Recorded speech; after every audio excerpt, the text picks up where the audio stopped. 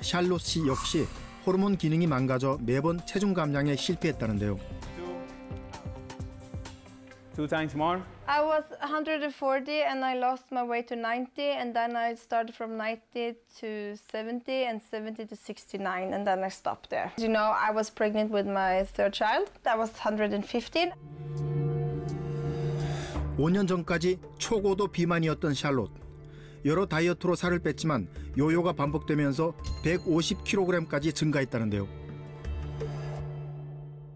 So I went from 140 to 90 in about two years, and I did a lot of mistakes on the way, uh, and I learned from it.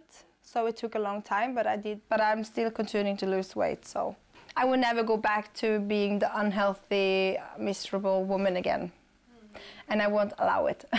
현재 요요 없이 체중 조절 중인 샬롯. 운동과 시서스를 챙기면서 굶거나 무리한 다이어트를 하지 않는다고 합니다. feel my hormones is getting in shape and balanced. The hormones is very good now. I feel like it's burning. Like I can do more now than I could before. Uh, I feel like I have more energy. I feel like I can play with kids without getting tired. I feel like I can um, just be myself, the person I always have been, because when I was 140 kilos, it was a lot of weight.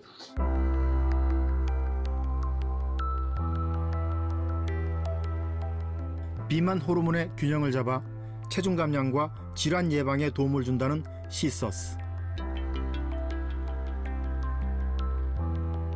실제 연구에 의하면 시서스가 지방세포의 분화와 축적을 막아 지방세포 크기까지 현저히 감소시킨 것으로 밝혀졌습니다.